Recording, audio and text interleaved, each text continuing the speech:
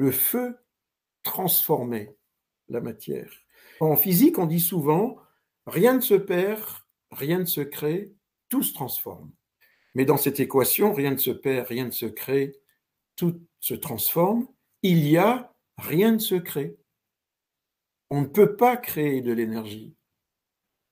L'énergie, elle est disponible dès le début. On ne peut que la libérer, on ne peut que la transformer. On ne peut pas créer de l'énergie. Donc les alchimistes cherchaient cette énergie qui existe depuis l'origine. S'il prend ce feu comme un feu qui va le transformer, eh bien s'il est honnête dans sa démarche, il va commencer, si on transpose, hein, il va commencer à, laisser tomber de lui ce qui n'est pas de lui. Qu'est-ce qui en moi est humain, eau, hein, l'humain vient de l'humus, l'eau, et qu'est-ce qui en moi est feu? Qu'est-ce qui est feu C'est-à-dire qui vient de l'origine et qu'on pourrait appeler est divin?